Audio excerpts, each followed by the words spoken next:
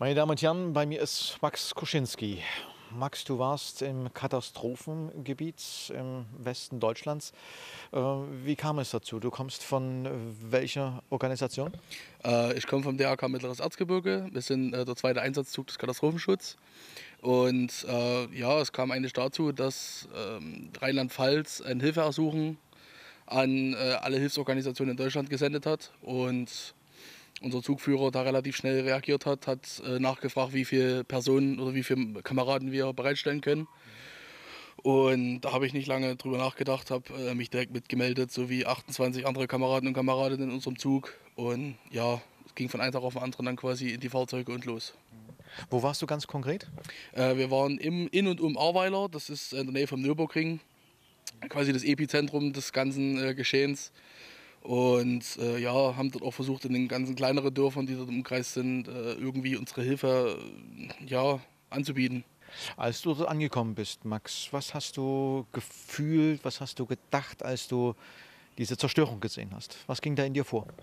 Äh, tatsächlich war ich fassungslos. Also mir hat das äh, irgendwie den Boden unter den Füßen weggerissen, weil ja, man, man, man kennt das nicht so. Als, man, man lebt seinen normalen Alltag, äh, ja, es regnet mal, aber dass das äh, konsequent in einem Gebiet so stark auftreten kann und dass das so viel Leid und Elend hinterlässt, das äh, macht einen irgendwie ja, fassungslos, äh, tatsächlich auch ein kleines bisschen depressiv, wenn man das so sagen möchte, weil die Leute dort haben oftmals alles verloren, alles was sie kannten und sämtliche Habe, also Hab und Güter waren damit weg. Wie konntest du ganz konkret vor Ort helfen? Was habt ihr ganz konkret gemacht?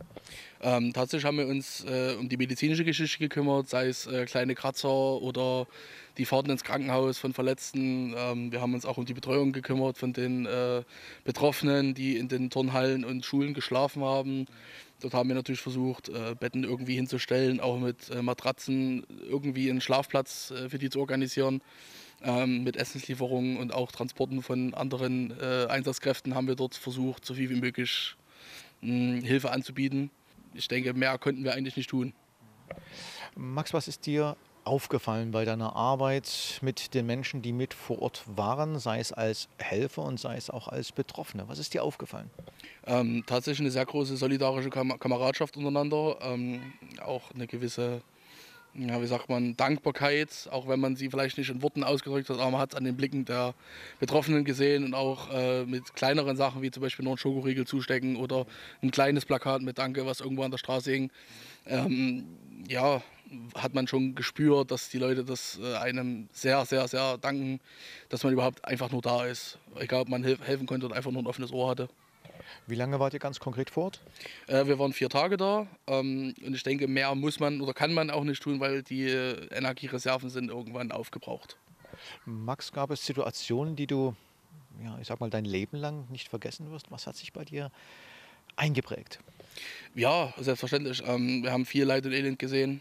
Ähm, eine Sache, die mir definitiv nie wieder aus dem Sinn geht, ist, äh, dass äh, der einsame Rentnerin vor ihrem völlig zerstörten Haus stand mit einem kleinen Körbchen mit ein paar Süßigkeiten und was zu essen äh, und hat versucht, irgendwie doch den Kameraden, egal ob THW oder Bundeswehr, Feuerwehr, äh, eine kleine Dankbarkeit zu zeigen, obwohl sie uns dann erzählt hat, wo wir ein bisschen mit ihr ins Gespräch gekommen sind, dass sie sowohl ihr Mann als auch ihr komplettes Hab und Gut verloren hat und sie dann auch wirklich bitterlich geweint hat, während sie versucht hat, uns irgendwie mitzuteilen, wie äh, ihr momentaner Stand ist.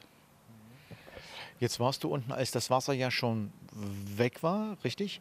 Ähm, man hörte die Aufrufe, äh, Sachspenden, aber äh, sind die tatsächlich noch angebracht aus deiner Sicht? Was brauchen die Leute vor Ort? Wie kann ich jetzt hier in Sachsen in der Region den Leuten da drüben tatsächlich helfen? Äh, also von Sachspenden wurde uns gesagt, äh, soll man jetzt absehen, weil davon sind genügend da. Also die komplette Halle im Nürburgring war voll mit Sachspenden palettenweise. Ähm, was den Leuten momentan wirklich hilft, ist äh, versuchen, irgendwie Schubkarre und Schaufel zusammenzupacken, äh, sich dort unten anzumelden, äh, um als Helfer verteilt zu werden oder halt kleine Geldspenden wie 5 bis 10 Euro, die vielleicht der ein oder andere doch aufbringen kann, äh, irgendwie darunter zu spenden, weil das am meisten hilft, um Infrastrukturen und Fahrzeuge zu spenden, um die Häuser vielleicht äh, halbwegs zu retten und den Leuten eine kleine, ja, wie soll man sagen, Zukunft irgendwie wieder zu zeigen. Es geht ja um kleine Dinge, ne? dass ich wieder telefonieren kann, dass ich mich duschen kann, dass das Wasser läuft ne? und solche Dinge. Das ist äh, soweit korrekt, ja, weil die Leute haben äh, gar nichts mehr. Also die leben quasi momentan wie im Mittelalter und äh, hätten wir die Kameraden von der Bundeswehr nicht, gäbe es und nicht mal Funknetz. Max, an dieser Stelle erstmal ein großes Dankeschön für, dein, für deinen Einsatz. Ähm, Blick in die Zukunft, steht wieder was bevor? Bist du wieder oder wirst du wieder abgerufen? Wie ist da der Plan? Äh, sollte da ein neues Hilfeersuchen kommen und unser Zugführer uns äh, fragen, ob wir mit äh, Sach und Tat wieder da runterfahren können, äh, bin ich glaube ich der Letzte, der da Nein sagt. Ich werde natürlich alles in die Wege leiten, um so viele Kameraden aus meinem äh, Ortsverband wieder äh, mit reinzubringen. Max, vielen Dank für dieses Interview. Vielen, vielen Dank. Kein Problem.